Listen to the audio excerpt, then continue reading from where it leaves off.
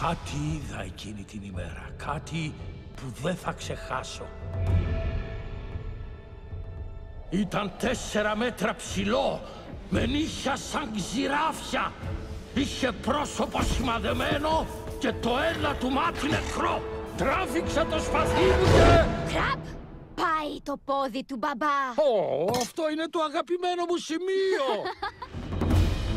Σύμφωνα με τους νόμους μας, ο πρωτότοκος γιος κάθε μεγάλου αρχηγού πρέπει να αποδείξει την αξία του. Σε μια χώρα παραδόσεων, Μέριντα φτάνει!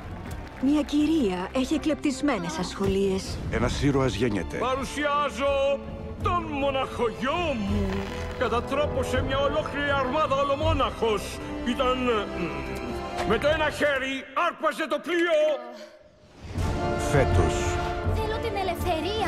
μια απλή ευχή Μα είσαι πρόθυμη να πληρώσεις το κόστος της ελευθερίας σου.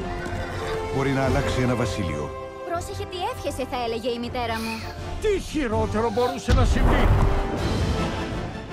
Όχι άλλες μάχες. Δείξε λίγη ευπρέπεια. Όσοι θέλεις. Αν είχες την ευκαιρία να αλλάξεις το πεπρωμένο σου, θα το έκανες. Brave από τη Disney Pixar σε Disney Digital 3D αίθουσες.